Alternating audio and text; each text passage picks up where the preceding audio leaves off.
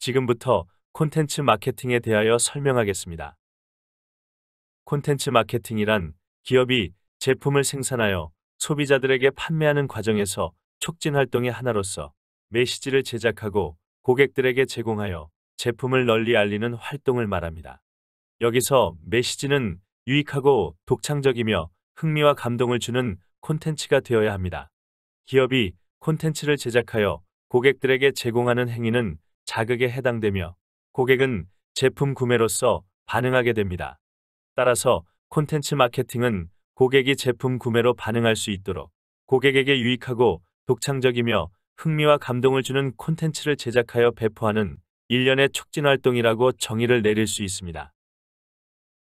과거에도 콘텐츠의 중요성은 강조되어 왔습니다.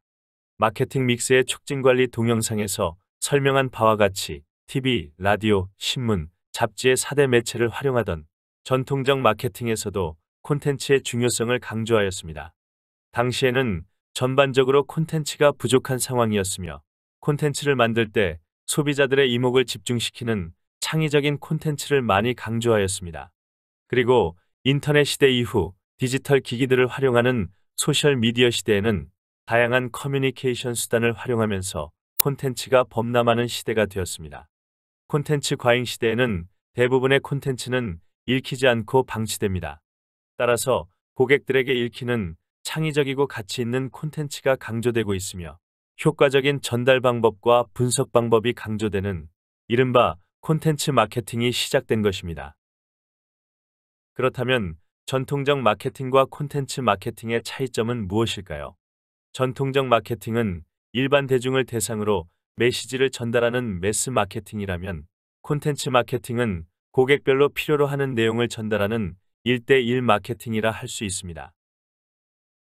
그리고 전통적 마케팅은 기업이 고객들에게 일방적으로 메시지를 전달하는 기업 중심의 한방향 커뮤니케이션이며 outbound 마케팅이라 한다면 콘텐츠 마케팅은 기업과 고객이 서로 의견을 주고받는 쌍방향 커뮤니케이션이며 외부의 고객이 정보를 기업 내부로 전달하는 inbound 마케팅이라 할 수 있습니다. 또한 전통적 마케팅은 고객과 접촉 없이 대량으로 정보를 살포하는 ATL 마케팅이거나 특정 고객과 접촉하여 대면으로 정보를 전달하는 BTL 마케팅이라면 콘텐츠 마케팅은 ATL과 BTL을 혼합한 TTL 마케팅이라 할 수 있습니다. 그리고 전통적 마케팅은 기업이 중간상에게 중간상은 고객에게 일방적으로 정보를 밀어내는 푸시형 마케팅이라면 콘텐츠 마케팅은 고객들이 콘텐츠를 읽고 자발적으로 참여하는 풀형 마케팅이라는 특징이 있습니다. 콘텐츠 마케팅은 native 광고, branded 콘텐츠와도 다릅니다.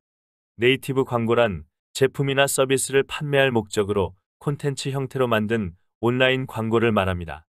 흔히 기업이 광고임을 표시하고 웹사이트에 게재하거나 이메일로 발송됩니다.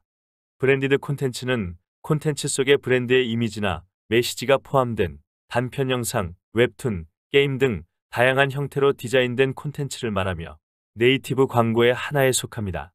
그러나 콘텐츠 마케팅은 소비자들의 관심사항을 콘텐츠로 만들고 흥미와 유용한 정보를 전달하고 함께 대화하고 질문하고 브랜드를 평가하고 제안하는 체제로 운영됩니다. 콘텐츠 마케팅은 고객과의 관계를 강화할 수 있고 대화 내용을 새로운 시장 개척이나 신제품 개발에 활용할 수도 있습니다. 콘텐츠 마케팅은 제품 판매와 브랜드 인지도를 높이는 데 큰 도움이 됩니다. 따라서 콘텐츠 마케팅이 성공하려면 다음과 같은 조건이 필요합니다. 첫 번째는 콘텐츠를 위한 콘텐츠는 피하라는 것입니다. 콘텐츠 마케팅이란 대량의 콘텐츠를 웹사이트에 게재하거나 장문의 텍스트를 게재하는 것을 의미하지 않습니다. 현재는 콘텐츠 과잉 시대입니다. 최근 콘텐츠 마케팅은 죽었다. 라는 보고서가 많을 정도로 콘텐츠는 범람하고 있습니다. 따라서 콘텐츠를 위한 콘텐츠는 피하는 것이 콘텐츠 마케팅이 성공할 수 있는 첫 번째 조건이라 할 수 있습니다. 둘째, 읽히는 콘텐츠를 만들어야 합니다. 즉, 콘텐츠 품질이 중요합니다. 소비자들은 자신에게 유용하고 독창적이며 흥미와 감동을 주는 콘텐츠가 아니면 눈길조차 주지 않습니다. 그리고 콘텐츠를 만들 때 시리즈 형태로 만들어야 합니다. 콘텐츠를 웹사이트에 게재하거나 이메일로 발송을 할 때 매 회마다 이래로 내용이 종결되면 지속적인 관심을 이끌지 못합니다. 따라서 연재 만화 또는 연속극처럼 연속성을 가진 콘텐츠를 만들어야 독자들의 관심을 계속 묶어놓을 수 있습니다. 또한 독자들의 반응을 반영하여야 합니다. 텔레비전의 주말 연속극은 시청자들의 의견을 반영하여 대본을 끊임없이 수정하여 진행됩니다. 독자들의 반응은 댓글에서 나타나지만 독자들이 클릭하는 내용을 분석하는 방법도 있습니다. 예를 들어 건강식품과 관련된 콘텐츠를 게재할 때 단백질 보충, 다이어트, 노화 방지, 위 건강 등 다양한 내용으로 구성됩니다. 내용별로 자세한 내용을 클릭하도록 유도하면 독자들이 어떤 내용에 관심이 있는지를 쉽게 파악할 수 있습니다. 고객들의 클릭을 분석하는 것을 전문 용어로 관련 내용의 URL 클릭이라 합니다. URL 클릭을 분석하면 고객의 반응을 분석할 수 있습니다. 셋째, SEO를 활용하는 방법입니다. SEO란 검색엔진 최적화로 번역됩니다. 즉, 네이버, 다음, 구글 등 검색 엔진에서 키워드를 입력하여 검색할 때 자사 콘텐츠가 상위에 노출되도록 관리하는 작업을 SEO라 합니다. 따라서 콘텐츠와 관련된 검색 키워드를 많이 설정하는 것이 중요합니다. 이때 키워드는 한 단어보다는 두 단어 이상의 복합형 키워드를 설정하는 것이 바람직합니다. 예를 들어 마케팅보다는 콘텐츠 마케팅, 디지털 시대의 콘텐츠 마케팅, 4차 산업혁명 시대의 콘텐츠 마케팅 등으로 검색 키워드를 여러 단어로 구성될 때 클릭 및 전환율이 높은 것으로 알려져 있습니다. 아무리 좋은 콘텐츠라 하더라도 검색 엔진을 통하여 검색할 때 상위에 노출되지 않으면 아무런 소용이 없기 때문입니다. 넷째, 롱테일 법칙에 활용하는 방법입니다. 롱테일 법칙이란 비인기 상품 80%가 인기 상품 20%보다 훨씬 높은 가치를 창출한다는 이론입니다. 여러분들도 알고 있는 파레토 법칙은 상위 20%의 고객이 매출의 80%를 창출한다는 것입니다. 롱테일 법칙은 파레토 법칙과 정반대라는 의미에서 역파레토 법칙이라고도 합니다.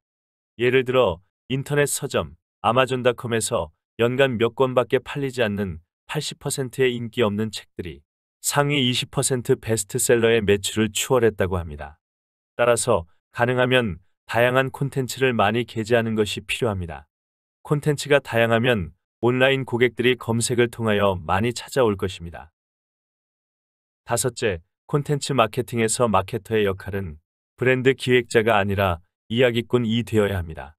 콘텐츠가 소비자들의 삶과 연관되어 소비자들에게 유익하고 흥미와 감동을 주도록 만들면 인기 있는 콘텐츠가 되며 광고를 포함한 다양한 촉진 활동, 빅데이터 마케팅, 모바일 마케팅, 소셜미디어 마케팅 등 다양하게 활용할 수 있게 됩니다. 여섯째, 콘텐츠 형식입니다. 흔히 콘텐츠라고 할 때 보도자료, 기사, 사례 연구, 책 등 문자 형태만의 콘텐츠를 생각하기 쉽습니다. 그러나 최근에는 인포그래픽, interactive 그래픽, 만화, 게임, 동영상, 영화 등으로 다양한 시각적인 콘텐츠를 지칭하는 경우가 많습니다. 따라서 유익하고 흥미와 감동을 유발하는 시각적인 콘텐츠를 만들어야 합니다. 일곱째, 콘텐츠를 널리 퍼뜨리는 인플루언서의 도움이 필요합니다. 소비자들은 신뢰받는 사람들로부터 추천받기를 좋아합니다. 콘텐츠 마케팅은 인플루언서 마케팅의 하나입니다. 인플루언서는 최고의 콘텐츠 마케터들이며 이들은 제품을 직접 광고하지 않지만 브랜드를 인지하고 추천합니다. 인터넷에서 입소문이 매우 중요합니다. 지금까지 콘텐츠 마케팅에 대하여 설명하였습니다. 감사합니다.